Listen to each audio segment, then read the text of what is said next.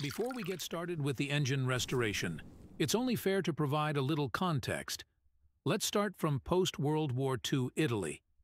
This country, like many others, emerged from the Second World War destroyed, impoverished, with entire cities and industrial centers reduced to rubble. Most of the population had lost everything and found themselves traveling within the city or outside of it was demanding. There was a lack of means to carry it out, and the same situation applied to travel for commercial purposes.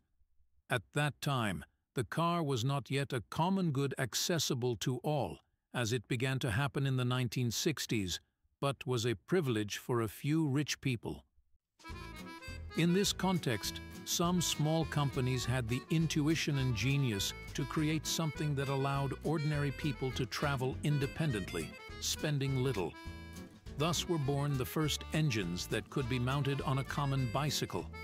These engines were sold with the tank and knobs and could be mounted on any type of bike. Their strong point was their price and low consumption, around 70-85 kilometers on one liter of fuel. Each manufacturer created its own unique engine, trying to make it innovative compared to the competition, making it more economical in fuel consumption, faster or easier to install and maintain.